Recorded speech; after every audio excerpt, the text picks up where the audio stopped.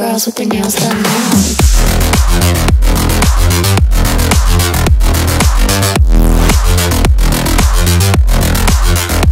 Girls with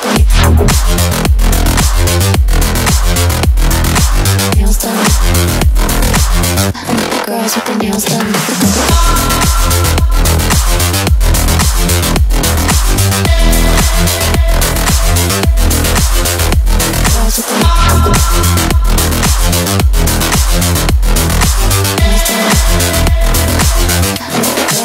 I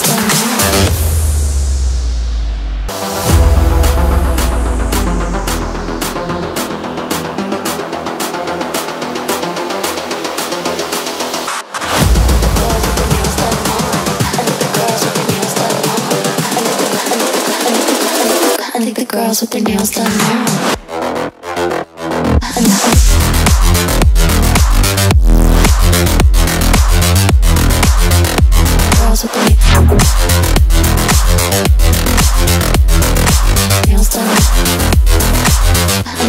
with your nails done.